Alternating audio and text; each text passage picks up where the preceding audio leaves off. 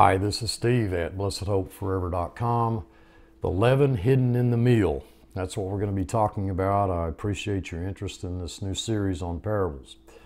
I'm going to be looking at Matthew 13 33. There's a, a parallel verse of Luke uh, 13 21 that deals with the same parable. Uh, if you believe that there's an Old Testament and a New Testament, it, then you believe that God divided his program into time segments. Uh, we call those dispensations. And it's important that we identify uh, these time periods in order to see God's purpose for each. Uh, Adam to Moses uh, is what uh, Paul spoke of. John spoke of Moses to Christ. The times of the Gentiles was mentioned by Christ. the last days for Israel was mentioned by Isaiah. The last days for the church was mentioned by Paul to, to in 2 Timothy. Uh, Israel was set aside in unbelief. Uh, this present age that we're living in is distinct from all pre- preceding ages. Uh, Israel's blindness, uh, that the Gentiles might be brought into relation to God, was a mystery. Uh, the incarnation itself was called a mystery, uh, as was the church. The church was also called a mystery. and this is what I believe it means to study to show yourselves approved unto God, a workman that needeth not to be ashamed, rightly dividing the word of truth. Dividing the word of truth. There's a reason for parables. The text is clear as to what that reason was. Uh, Matthew 13 10, and the disciples came and said unto him, Why speakest thou unto them in parables? We know from the text that they rejected Christ. Things were about to change. There was, about a, there was going to be a change of dispensations. Uh, we have to look at these things in context. The Jews had just accused Jesus of being a son of Satan. Uh, he called them an evil and adulterous generation. Why speak to them in parables? Well, Matthew 13, verses 34 and 35. All these things spake Jesus unto the multitude in parables, and without a parable spake he not unto them. In order that it might be fulfilled, which was spoken by the prophet, saying, I will open my mouth in parables. I will utter things which have been kept secret from the foundation of the world.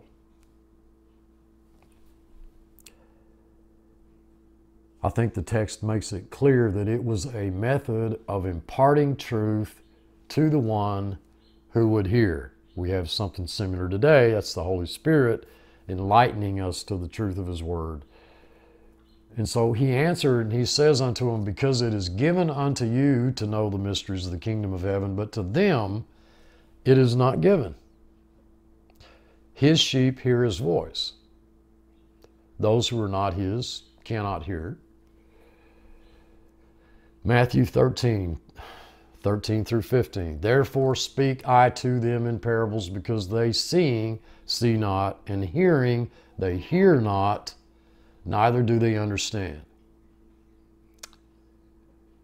And in them is fulfilled the prophecy of Isaiah, which says, By hearing you, ye shall hear and shall not understand, and seeing ye shall see and shall not perceive. For this people's heart is waxed gross, and their ears are dull of hearing, and their eyes they have closed, lest at any time they should see with their eyes and hear with their ears and should understand with their heart and should be converted. He's talking about his people, Israel, and I should heal them. But blessed are your eyes, for they see, and your ears, for they hear. He's talking about his people. You open up the book of Matthew, folks, and it's it's all it, we, read about the Messiah, Israel, the law, the kingdom. Uh, Matthew has a Jewish tone.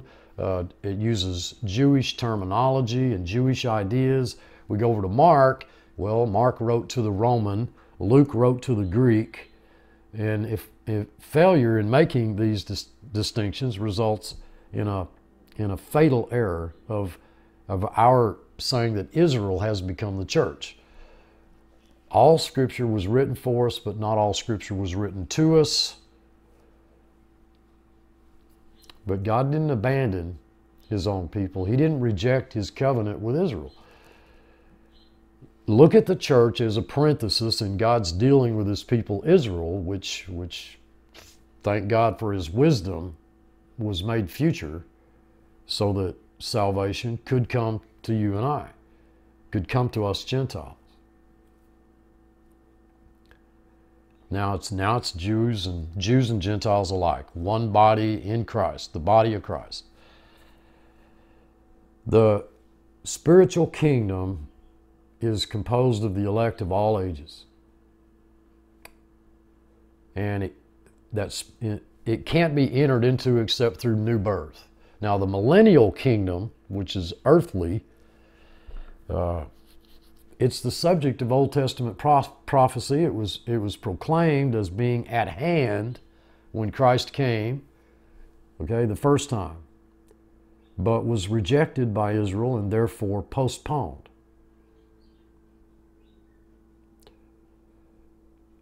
The world will see another John the Baptist. I mean, it, it's I use that as a, as, a, as a metaphor for the gospel of the kingdom once again being preached once the church age,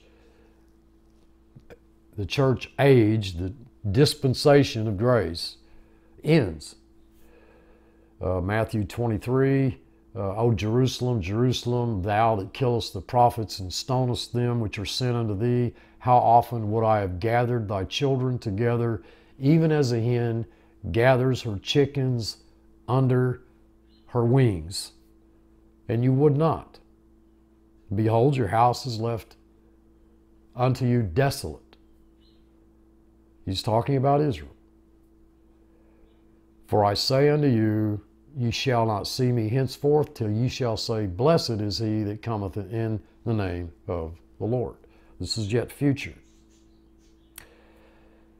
We've got two phrases in Scripture kingdom of God, we've got kingdom of, of, of heaven. That's literally kingdom of the heavens, plural. These are not synonymous, even though they are used interchangeably, their meaning is to be determined by context. Kingdom of the heavens, plural, holds a, a particular significance because it, it encompasses all of creation earthly as well as heavenly. You know, God's will on earth uh, will be done as God's will as, as it is on earth as it is in heaven. You know, everything that you could think of and more. Uh, and however we interpret these parables, they have to be consistent with all of Scripture. It has to be in harmony with all of Scripture. Nothing can contradict anything else. So Matthew 13, 33, another parable spake he unto them, the kingdom of heaven is like, here's what it's like, unto leaven, which a woman took and hid in three measures of wheaten meal, says the text. That, that word is wheaten meal, till the whole was leavened. When you introduce leaven into the meal, an irreversible process begins that will continue until it's completed its leavening action. All right, this is, this, is, this is obviously intended to stress the way that the new form of the kingdom will develop. The power in the kingdom will not be external.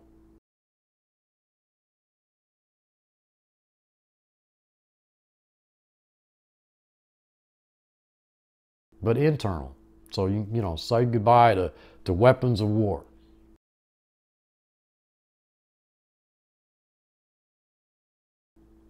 say goodbye to earthly governments. Because by its internal working, it will affect an external transformation.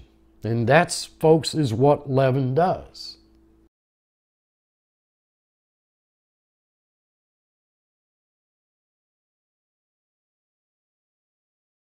So now we're beginning to see the, the picture of that parable is beginning to sh- take shape. Just like law can't transform a believer's life.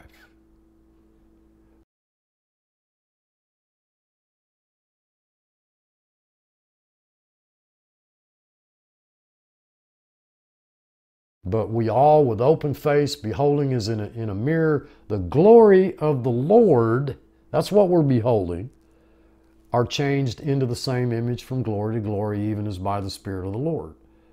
2 Corinthians 3.18.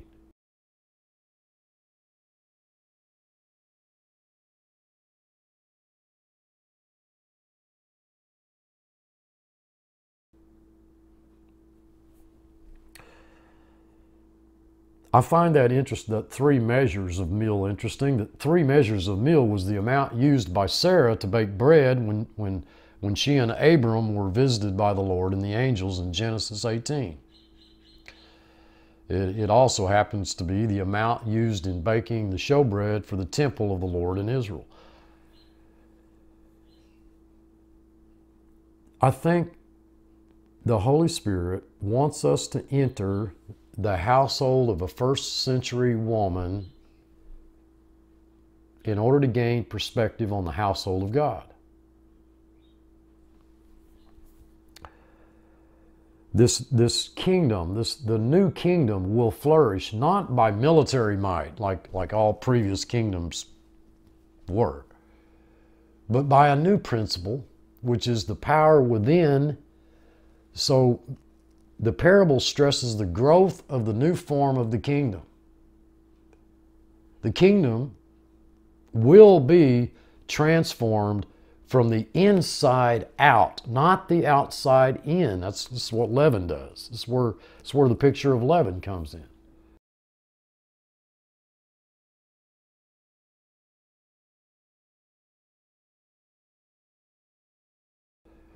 If Christ had not hid leaven and I'm, I'm going I'm going to suggest that's the gospel, in his kingdom, it would not have risen. That word hid means to bury or to hide within. And it is used only of the kingdom of God as it spreads its unstoppable influence, yet it's not readily detected. Uh, most people just don't know what's going on. I think it's stressing the kingdom is growing not by external influences, but by inward change, which will affect outward external transformation. The nations benefit by the kingdom. Three measures of meal was the amount used by Sarah to bake bread when, when, when her and, and Abram were visited by the Lord. And you know, that amount, they say that that amount would have fed 100 people. Three measures. It's also the amount used in, in baking the showbread for the temple. It, it seems to have this connotus, sort of a connotation uh, to a relationship with the kingdom. Uh, that number 100 often represents the kingdom.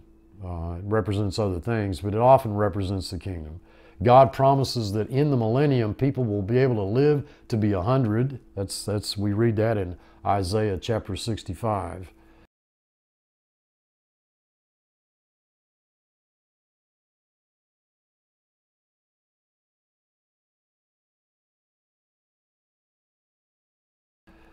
Uh, they say that Paul's 14 books contain 100 chapters. I don't know if that's true or not. I find that interesting. The, the parable ends with, with till the whole was leavened. Okay? Look, it all started with 12 men in an obscure corner of Galilee that, that spread, that it, this has spread throughout the world. The gospel makes progress. Hid in the wheaten flour. That leaven is unstoppable. the kingdom of the heavens, which encompasses all of God's created order, a kingdom without end with our Lord Jesus Christ, the bread of life.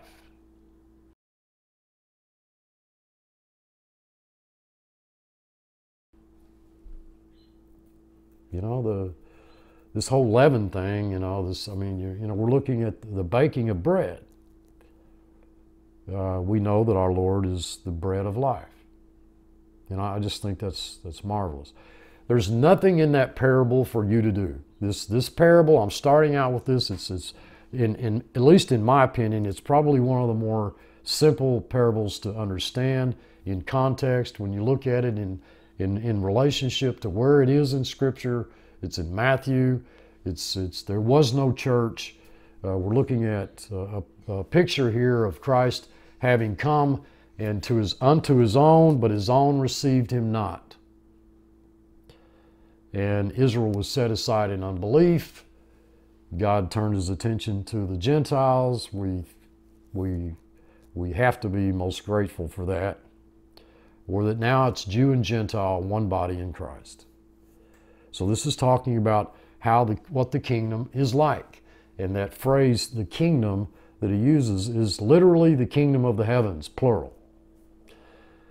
Now, don't ask me why that the translators don't put say that, you know, but obviously they, these scholars know the difference between a singular and a plural.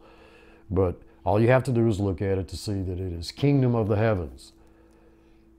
Now, when I, when I see that phrase, kingdom of the heavens, I'm looking at it all, everything. I mean, in heaven, on earth, kingdom of the heavens. That's a lot different than the kingdom on earth, the thousand year reign of Christ. It includes that, but it is not limited to that. There is a spiritual kingdom, and most often the word kingdom of God is associated with this spiritual kingdom. You know, you know, we must be born again to enter into the kingdom of God.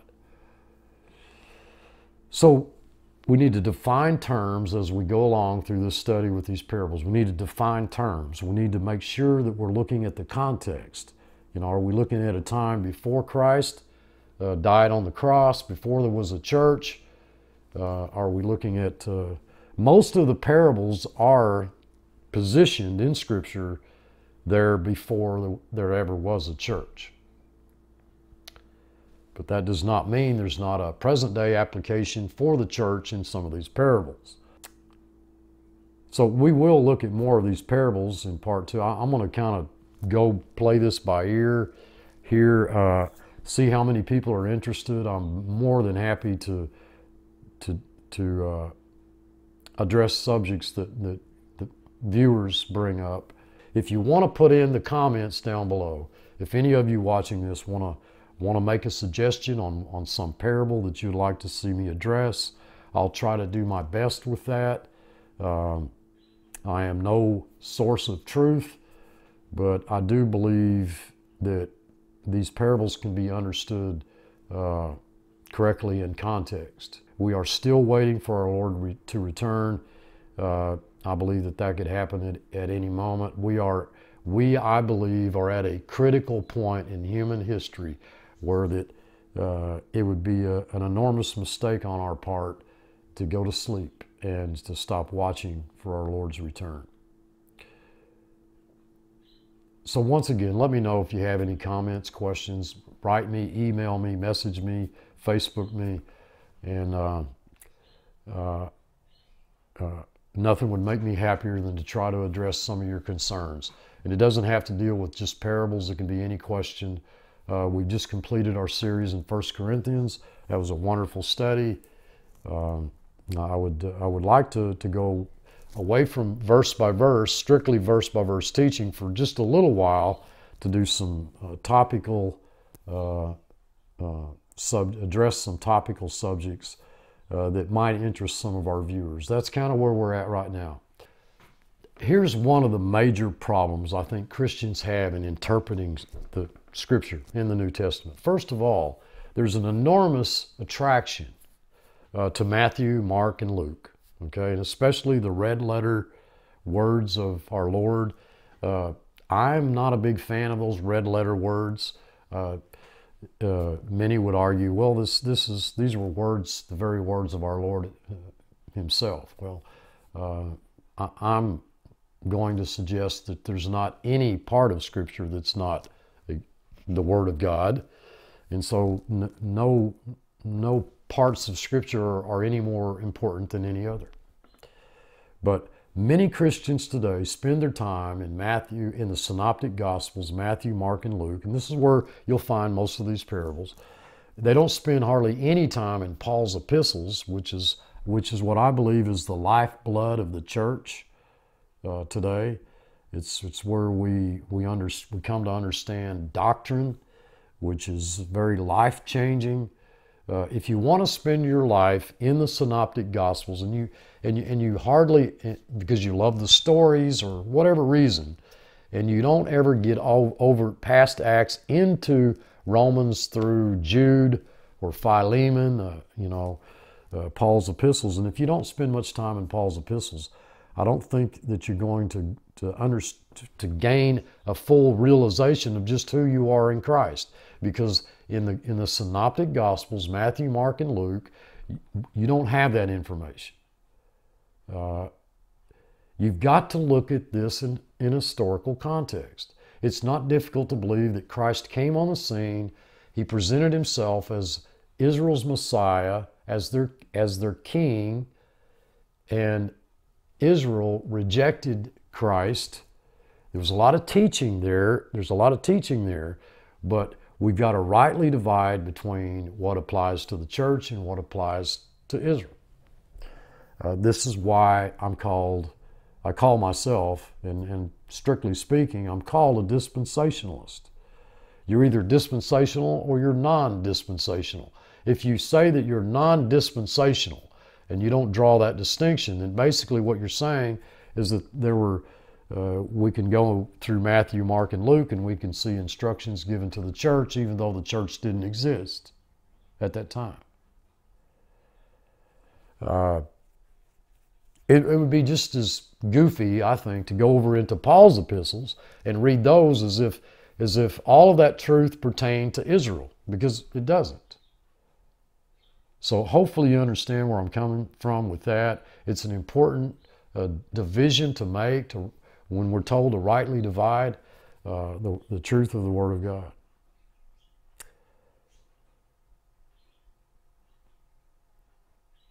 So let's let's end with a word of prayer. Gracious Heavenly Father, thank you so much for your for your love, your forgiveness, for your life that you've given us, for the eyes that, that you've given us to see, the hearts that you've you've given us to hear.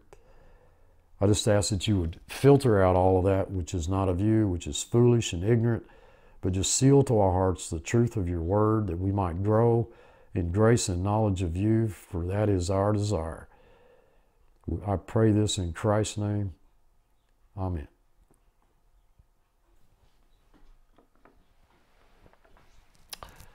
So until next time, rest in Him. I love you all. I truly do. This is Steve. Thanks for watching.